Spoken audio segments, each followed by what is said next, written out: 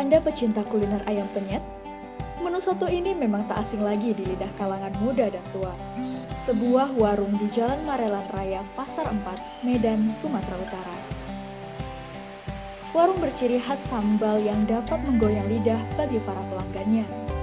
Selain ayam penyet, di sini juga menjajakan berbagai menu yang dapat menjadi pilihan bagi pelanggan, antaranya bebek goreng, gurami asam manis, lele goreng, dan lainnya.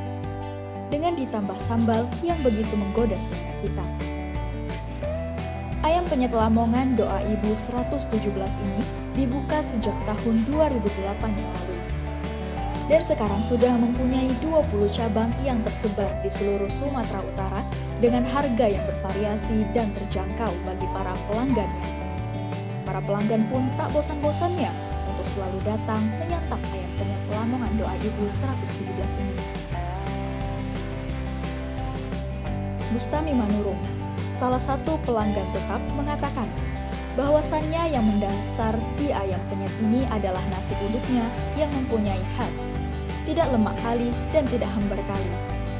Dan kalau ayamnya di mana-mana sama. Tetapi di sini mempunyai ciri khasnya di sambal. Kalau satu kali kena lidah kita, rasanya pasti nagih untuk mencoba lagi.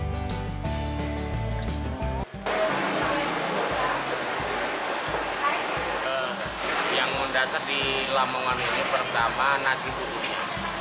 Nasi uduknya itu punya khas dia. Jadi eh, tidak lemak kali, eh, tidak ambar kali, jadi beda rasanya. Kedua, kalau ayam kan di mana-mana sama, cuma sambal. Jadi kalau satu kali kena lidah kita, pasti nagih. Eh, kalau ayam penyet ini kita kita utamakan sambelnya terus harganya menu-menu kita pun berbagai macam. Ada nila ada ayam ada bebek ada lele ada diampla semua lengkap. Masalah harga ya terjangkau untuk untuk masyarakat sekitar lah. Dan pengunjungnya pun kebanyakan dari dari sekitar sini sama agak-agak. Ya luar-luar daerah sini. Nah kalau di sini semua cabangnya ada 20 cabang di seputaran Medan, seputaran Sumatera. Saya tahun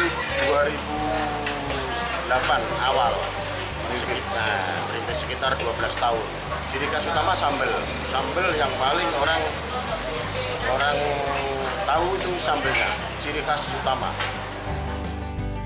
Kalau ayam penyet ini kita mengutamakan sambalnya, terus harganya yang terjangkau. Dan di sini ada berbagai macam menu. Ada ikan nila, ada ayam, ada bebek, dan pengunjung juga banyak dari luar daerah dan kita membuka warung ini sejak tahun 2008 sampai sekarang kita sudah mempunyai 20 cabang yang tersebar di Sumatera Utara. Ayam penyet Lamongan Doa Ibu 117 ini mempunyai ciri khas sambal yang dapat menggoyang lidah bagi para pelanggannya. Dan rasanya yang nikmat, lezat, dan gurih membuat lidah penikmatnya tak henti bergoyang.